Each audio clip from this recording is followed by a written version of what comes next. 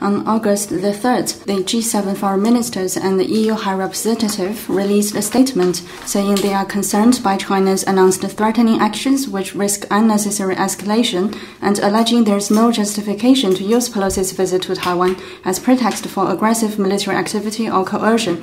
They claim it's normal for legislators to travel internationally and there is no change in the G7 members' respective one China policies where applicable. Any response?